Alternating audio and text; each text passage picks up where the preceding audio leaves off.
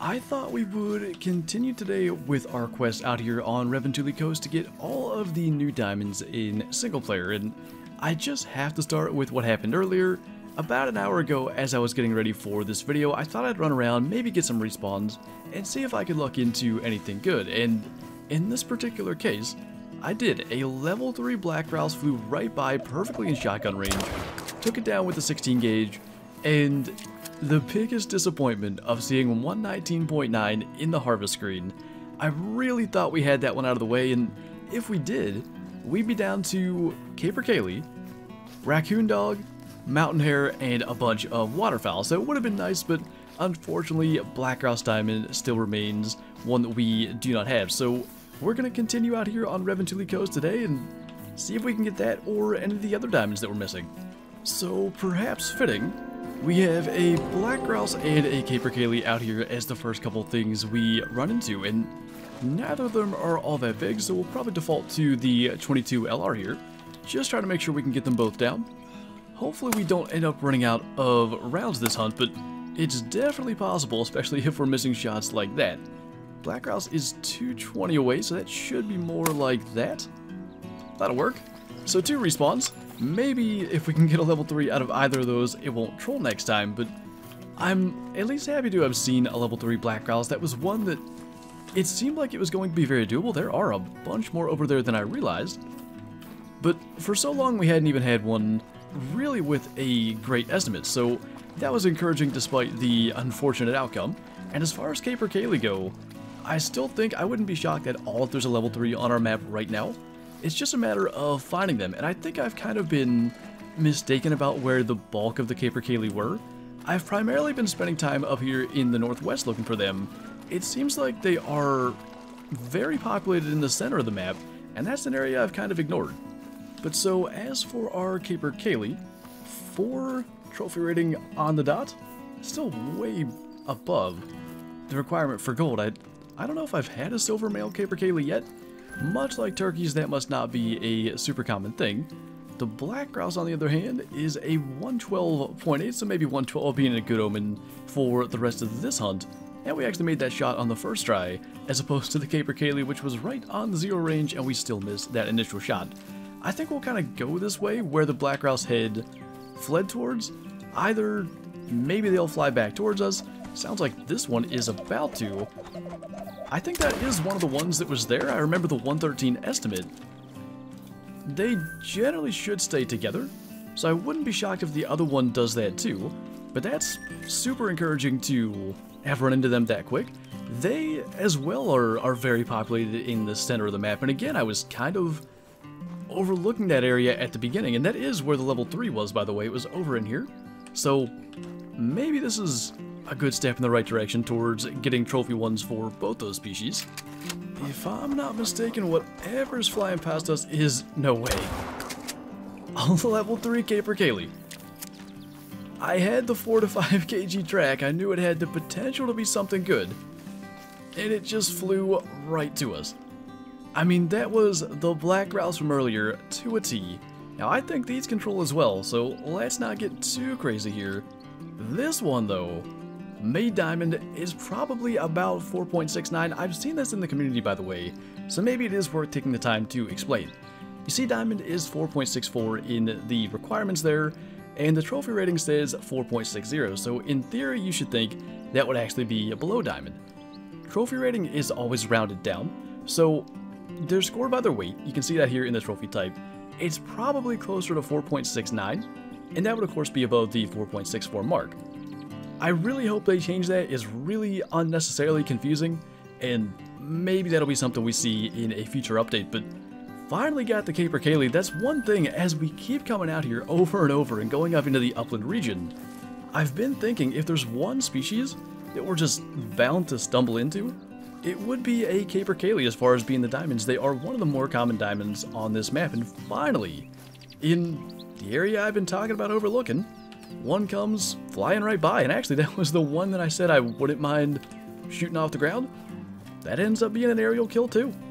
So now I guess the question becomes, do we want to make a Capercaillie multi-mount?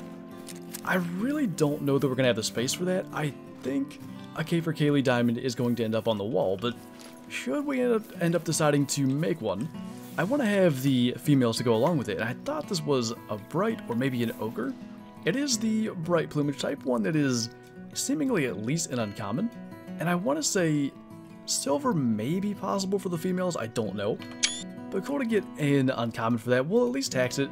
We'll have it there if we find another one that's uncommon or maybe potentially a rare. That is one thing that I can't say I've seen for certain anywhere in the community is a rare female Capercaillie. Plenty of males, but I assume that has to be possible. Well, now we have yet another good-sized male Capercaillie. I don't know that we could have gotten that with a shotgun. It almost looked like we may have hit him. He did go to land right as we fired that last shot. And actually, I think he's coming right back up here. It doesn't look like we got him initially, but that is going to make it a whole lot easier. It is interesting today. The birds have decided to uh, make it a little bit easier on us, rather than tracking them for forever and them continuing to fly in the opposite direction. We'll keep on taking the males as well as we see them. They are some of the coolest looking rares on the map for sure, so anytime one comes in shotgun range, we'll definitely be sure to take that.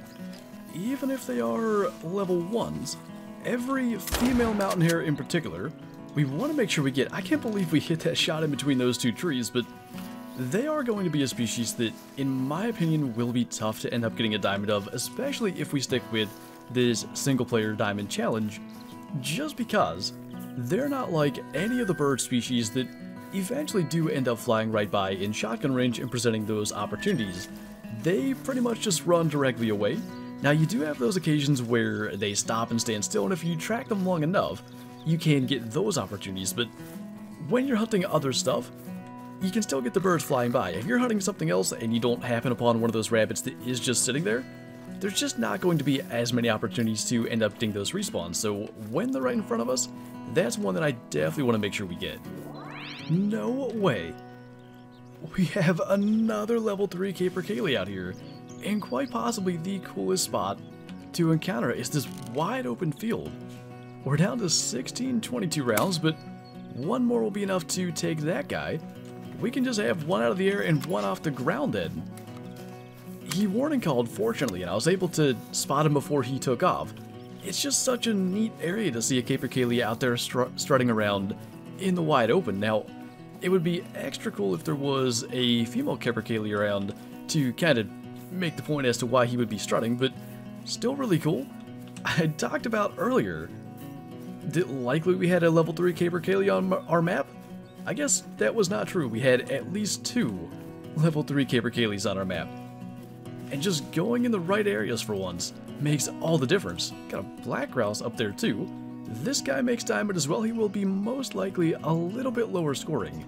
Now, I talked earlier, and we'll, we'll tax this quick and get moving towards the black grouse, but I talked earlier about them being scored by their weight it's not always exact, which is one of the weirder things about the way scoring works in Call of the Wild. Those two guys are the exact same score estimate, that's interesting. But basically, there's a little bit of randomness. Even when they are scored by their weight, you can have little bits of difference. So in theory, if you had a low randomness side on the one that weighed 4.69 kg, you might get a 4.66 score.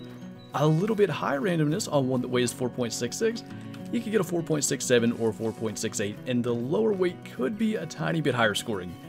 Really doesn't make a lot of sense. I've never really liked the randomness aspect, but it is a thing to consider. Got ourselves two bonus black grouse, by the way, in the process, although I guess this one's still up here a little further. And while I appreciate the bonus black grouse the game gave us there after getting another diamond capercaillie, I guess maybe it kind of made up for the, the troll earlier with the, the two diamonds, but I definitely wouldn't mind getting another nice black grouse in there. There is a max weight track, we might as well go and find that. And then probably we are going to head back to the trophy lodge. This has been a hunt that is just almost non-stop.